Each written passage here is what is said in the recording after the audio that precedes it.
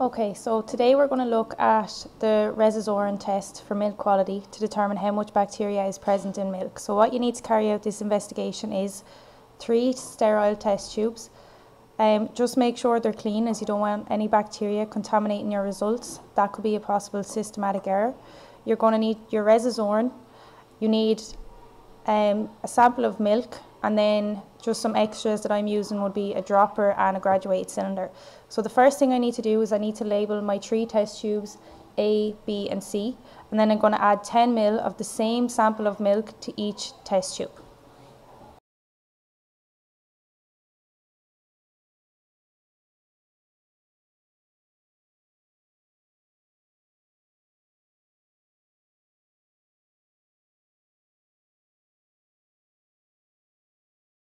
Okay, so next thing I need to do is I need to add one mil of Resazurin to my test tube A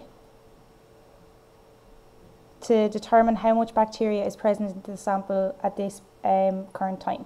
Okay, so I'm going to put, put this in, I'm going to swirl it around and now I'm going to place it, now I'm going to place it into the water bath at 37 degrees Celsius for 15 minutes.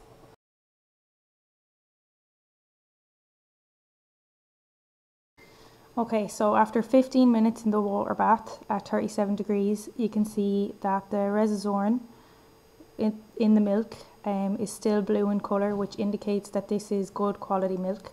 So we're going to test the milk quality for B then in 48 hours, just because we're over the weekend. And then the Tuesday we'll test the quality of the sample C. So we're going to leave them over time and just see if the quality changes. So blue means best quality.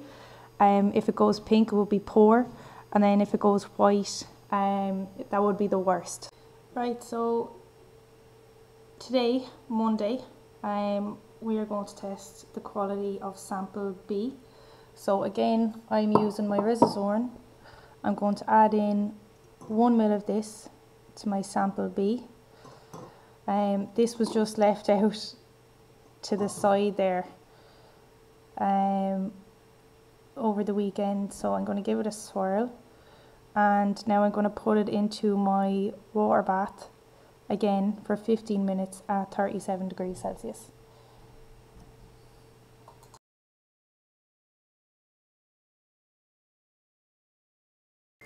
Okay, so this time you can see that the milk with the Resazurin has turned a pink colour. So now we can see that the milk has become um, a much more poor quality over time within the last 48 hours. So tomorrow then we'll do our last one which will be C and that'll be after 72 hours. Okay, so today we're going to do the last one. So it's been now 72 hours. Again, I'm going to add in my 1 mil of Resazurin. So hopefully within that time the bacteria has started to um, multiply a lot. Um, I'm just going to swirl it around.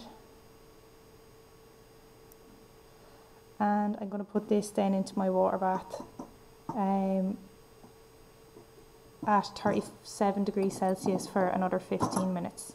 So I'm just going to pop that in now.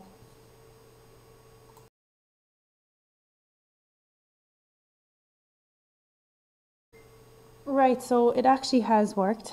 Um, you can still see a bit of a pink layer up here, but the rest of it has actually become uh, white, indicating that it's the worst quality. So that just means that it has the most bacteria present in this sample in comparison to our other two.